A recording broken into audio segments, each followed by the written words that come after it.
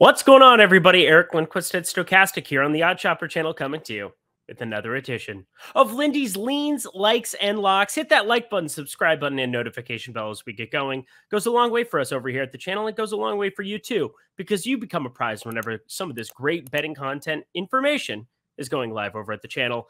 Uh, yeah, what a smash. And hey, I know a lot of you are thinking, oh, Eric, the Guardians and the Yankees, they got rained out and you didn't even get a pick from that one. Okay, well, whatever. And oh, Eric, I thought you got it wrong. You took the over of six and a half. And there was only four two. Well, guess what?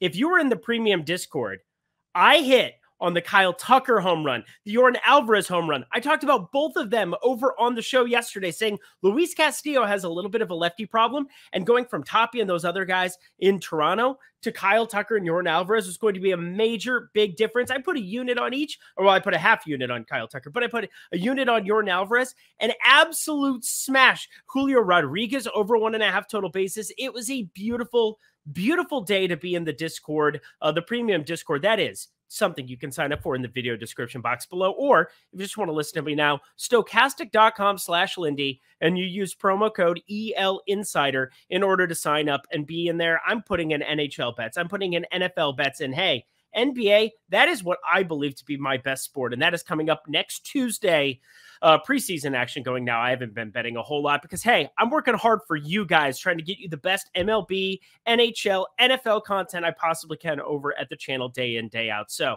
uh, I had a great MLB day somehow. Yes, again, I want to be able to get you guys the winners here. And I know that I liked the over of six and a half in that game. And there were multiple opportunities by both teams to find a way to it. But still, to hit three for three in the props there was just a beautiful, beautiful day, smash fest. And we're looking to run it back here. I have one prop I'm going to throw out there for you guys uh, on this video. But if you guys want all of that, stokastic.com slash Lindy.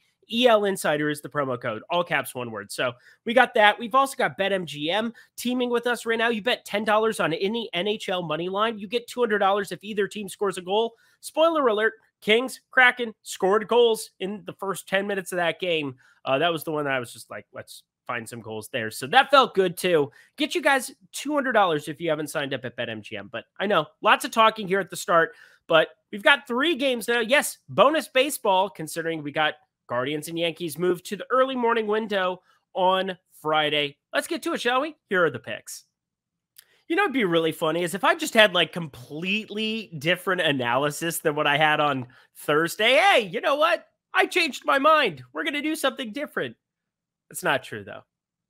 I mean, I might not be able to pick a winning side to save my life here the last week or so, but whatever. Called the rain out yesterday. That felt pretty good, but it's literally the same matchup Shane Bieber versus Nestor Cortes Jr.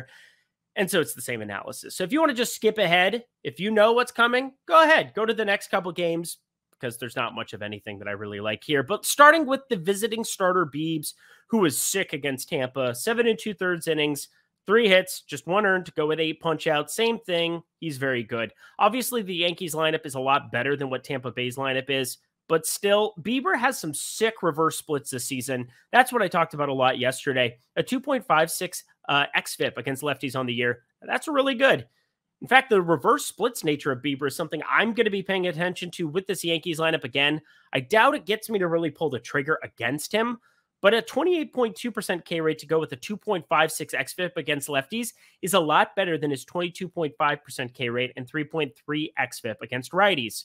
Well, he's also better in terms of average, better in terms of whip against lefties as opposed to righties. Uh, we've got Rizzo Cabrera. Those are the two guys that I pointed out from yesterday. It still applies. I don't think Matt Carpenter makes the lineup considering some of those splits. It's not like the Yankees don't have a card that tells them the same things that I'm looking at. So I doubt you're looking at more than two lefties that show up in tomorrow's lineup. As for Cortes, starting here for the New York Yankees, he's got a 257 x woba and a 320 expected slugging on the year and a 26.5% K rate. I like him, even though he's not a guy who throws over 92 miles per hour. Uh, that's his average fastball velocity. It's pretty wild to see a guy getting that kind of K, uh, that kind of a K rate despite that. And Cleveland, same thing I pointed out, an 84 WRC plus on the season against lefties. That's fourth worst in all of baseball. So I'm not that enthusiastic to be back in Cleveland. If you see on your screen, plus 126 doesn't feel like good enough value. But also minus 135 on the money line. Looking at the run lines, Nothing really looks all that good to me. And with a total of six, it looks about appropriate here. So I'm passing. Once again, nothing has changed. If I had to do something, I'm going to lean to the Yankees run line minus one and a half, just because you're getting that plus 165 money. That's going to be the same identical number you had from Thursday that's moving to Friday.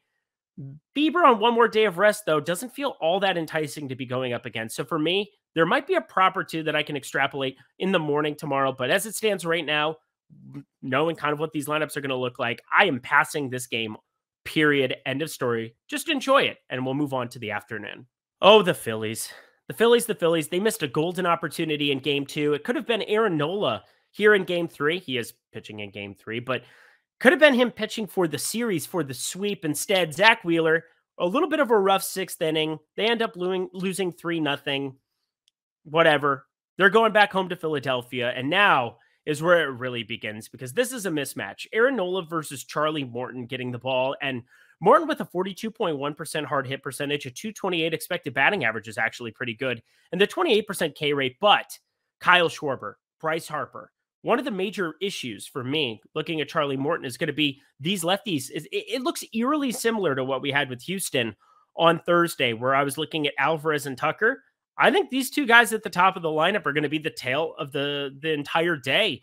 And if they're able to get after Charlie Morton like I think they can, you're looking at runs right from the get go. I bet Atlanta is going to be happy to fire up their bullpen right away here. They get the one day of rest um, on Thursday. Coming into Friday, they'll be all systems go you're trying to find any way to win this game three. You don't want to try to bring this back to Atlanta in any way, shape, or form. Philadelphia, though, I love the Schwarber Harper combo at the top, and I really, really, really love Aaron Nola. He's my boy. A 31.6% hard hit percentage and a 259 x Woba is just nails. There are strikeouts available in this lineup. And yes, he does that really well with a 29.1% K rate, a sub 4% walk rate, Aaron Nola is the exact kind of guy you want to have with the ball in his hands in a must win type situation. And that is this game three, which means I definitely like the Philadelphia side. Now, Vegas has definitely been more apprised of this. And that's why you're seeing minus 115 for Philadelphia.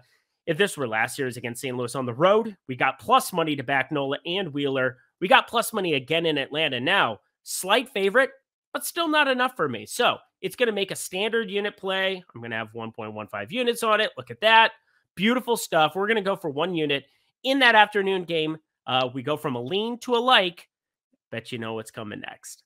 All right, everybody, you know what to do. You head to BetMGM. You bet $10 on any NHL money line, and you're going to get 200 free dollars just by signing up at BetMGM if either team scores a goal. Now, in the NHL, a team has to score a goal. That's what happens. You don't have zero zero ties. This is not European soccer, even though I do love European soccer. And I'm looking forward to the World Cup. Going to be betting that too, because I'm a sick person, but I love myself some BetMGM. And you will too when you sign up for their product. Gets you yet access to another sports book in order to odd shop. That's the name of the game. We want to find the best lines day in, day out at any book, whether that's DraftKings, FanDuel, uh, PointsBet, a lot of the main ones that I use, and then Bet MGM because they have great numbers available, decent player prop numbers too, especially especially in the MLB street. So I want you guys to sign up, bet ten dollars on any NHL money line. You're going to get two hundred dollars if either team scores a goal, which they're going to do. All right, sign up for that, and let's get back to my last pick, a lock that I have for you in the last game of the night.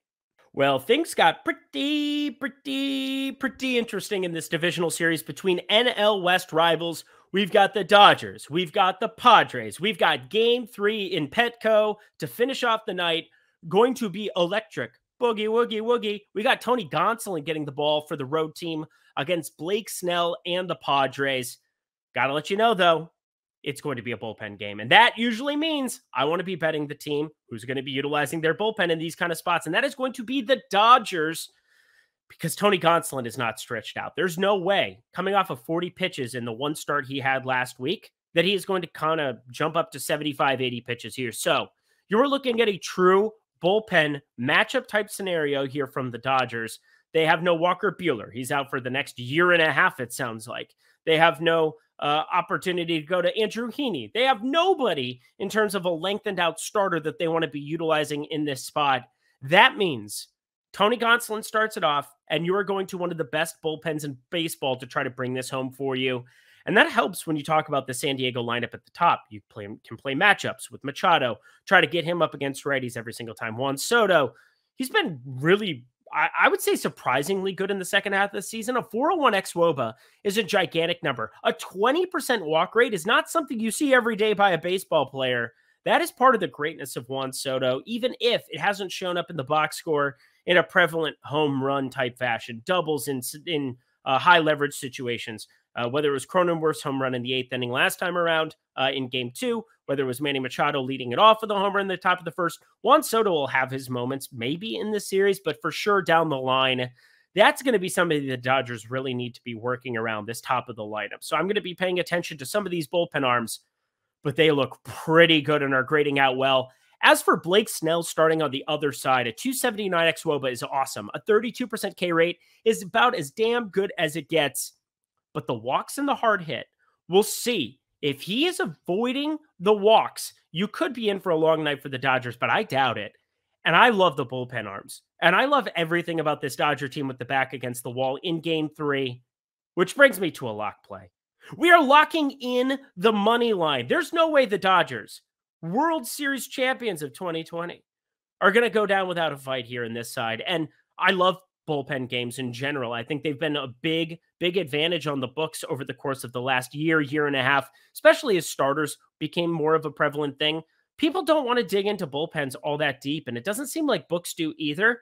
I think the Dodgers should be even bigger than minus 120 favorites here. I would bet them up to minus 135, minus 140. So I'm getting short of minus 120 to be able to bet them here. That becomes my favorite bet on an outright of the night. Now, I said I was going to give you a prop. So here you go. Trayce Thompson.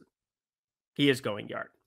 He's just going yard. That's just the end of the story. I keep bringing out these home run props and it's amazing at the clip that I've been hitting these. I hit three of four solo home runs on Wednesday, all Dodgers. I bet four Dodgers. Uh, thanks, Cody Bellinger, for joining the party, but you didn't. And I went two for two today with Kyle Tucker and Jordan Alvarez. And Trayce Thompson with a 47.2% hard hit percentage and a 498 expected slugging at the back of this Dodgers order is going yard in Petco, looking at a couple of the numbers for him against lefties, he is just electric and he's going to have plus 450 and, and greater value at a number of books. I think he gets a lot of those at bats. Uh, he's for sure going to face Blake Snell twice. Uh, he might get pinch hit for later for a Gallo or a Bellinger later in the game. But as it stands right now, y'all, Thompson's going yard and the Dodgers are winning this baseball game. And that does it for another edition of Lindy's Leans, Likes, and Locks. Head to that video description box below. Let me know how much you made on those player props. I did see a couple of amazing screenshots on the Kyle Tucker Yordan Alvarez combination single game parlay. Almost plus uh, almost 20 to 1 plus 2000 money going in on that love to see it hit up those screenshots to me over at eric lindquist i love to retweet those love to see your successes and especially you know, if we can get one of these outrights to go across the board here uh, throughout the playoffs, that'd be great. I mean, Philadelphia was two freebies in St. Louis. Hopefully, we can get back on track on Friday. But until next week, uh, I'm going to have Aton here over the weekend. Uh, looking forward to his analysis. Hopefully, you guys are too. He's there in Philadelphia, so maybe give him a shout out on his Phillies baseball team. It's going to be an exciting, exciting weekend. So until Monday, I'm Eric Lindquist. Best of luck in the MLB streets on Friday.